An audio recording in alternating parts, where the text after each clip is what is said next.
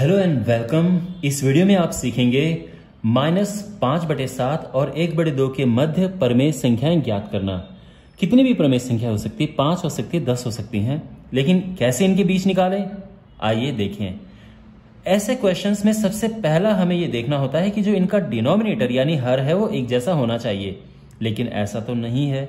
ये सेवन है और ये टू है। तो हमें क्या करना है? कि जो इनका डिनोमिनेटर है, उसको एक जैसा बनाना है, ये हमारा पहला काम है। तो हम क्या करेंगे?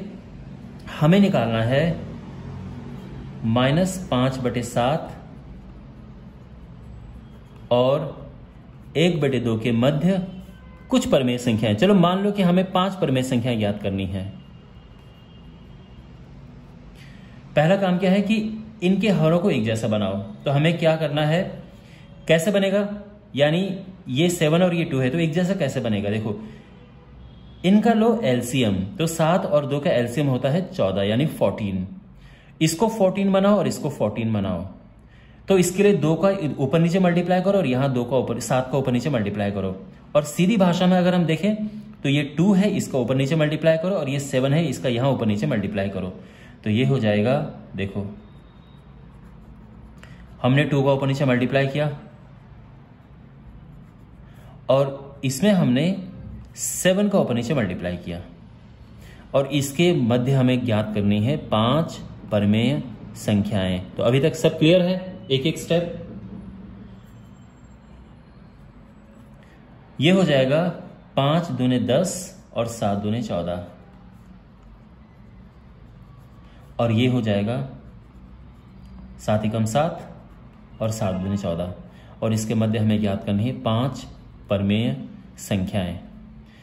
तो ये जो नंबर्स हैं, अब इनमें कन्वर्ट हो गए हैं। और अब जो इनका डिनोमिनेटर है, यानी हर एक जैसा हो गया, ये भी 14 है, ये भी 14 है। तो इनके मध्य हम बड़े आराम से संख्याएँ रख सकते हैं।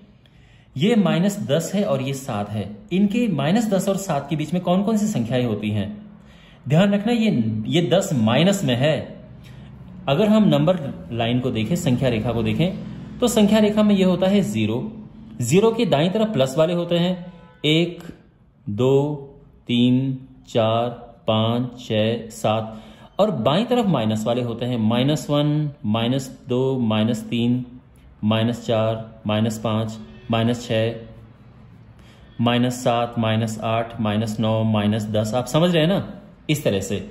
तो ये माइनस टेन है और ये सेवन है। तो इनके बीच में आप देख सकते हैं ये सारी संख्याएँ होती हैं। तो यहाँ से कोई भी आप पिक कर सकते हो। पाँच पूछा है तो पाँच निकालो, यहाँ तो दस भी आ जाएँगे बड़े आराम से। तो क्या होगा? फाइनल आंसर तो इनके मध्य में तो ये माइनस नाइन है। Minus nine upon fourteen minus eight upon fourteen minus seven upon fourteen minus six upon fourteen इस तरह से हम लिखते जाएँगे। इवन ज़ीरो भी इसमें है। तो आप चाहो तो ज़ीरो अपॉन फोर्टीन लिख सकते हो। बाद में ज़ीरो ही हो जाएगा। और इसके बाद प्लस वाली one upon fourteen two upon fourteen three upon fourteen ये सारे आप लिख सकते हैं, ठीक है ना? यहाँ पे सिक्स अपॉन फोर्टीन यहाँ तक आप लिख सकते हैं। तो पाँच पूछा है, लेकिन आप उससे भी ज़्यादा लिख सकते हैं। और केवल पाँच पूछा है तो इनमें से कोई भी कोई भी पाँच संख्या लिख सकते हैं आप। और एक और बात ध्यान रखना, बुक के पीछे का आंसर हो सकता है कि इससे डिफरेंट हो, क्योंकि आप खुद आप स्वयं देख सकते हैं कितनी सारी संख्याएँ बीच में आ रही हैं। इनमें से कोई भी पाँच लेनी है, जो कोई भी आप पाँच ले, वो सही होंगी। तो ऐसा नहीं है कि आप ये पाँच लो और आपका फ्रेंड ये पाँच ले और बोले कि नहीं भाई कोई एक सही है, नहीं, दोनों सही हैं। तो इसको हम और सिंप्लीफाई कर सकते हैं। जो कट रहा है, उसको काट सकते हैं। जैसे ये कट रहा है, ये चार बटे सात हो गया, ये एक बटे दो हो गया, ये तीन बटे सात हो गया, ये ज़ीरो हो गया, यानी minus nine upon fourteen, minus four upon seven, minus minus one upon two minus three upon seven, ये ज़ीरो हो गया। ये वन अपॉन फोर्टीन है, ये भी कट के आ जाएगा। तीन बटे सात, इस तरह से, ठीक है? तो ये आपका आंसर आ गया। तो आई होप आपको ये सब समझ आया होगा कि कैसे, देखो, एक संख्या माइनस में और एक संख्या प्लस में हो तो आपको इस तरह से देखना है, ठीक है? कई बच्चे ये सोचते हैं कि, अरे, ये तो सात और ये दस है। वो माइनस साइन पे ध्यान नहीं देते हैं, लेकिन माइनस साइन यहाँ पे इंपॉर्टेंट है। केवल और सात और दस होता तो फिर हमें कुछ और करना पड़ता, यानी क्योंकि इसके बीच में फिर आठ और नौ आते बस। पर क्योंकि यहाँ पे माइनस है तो इनके बीच में बहुत सारी संख्याएँ आ सकती हैं, ओके? तो आई होप आपको ये सब समझ आया होगा। Thanks for watching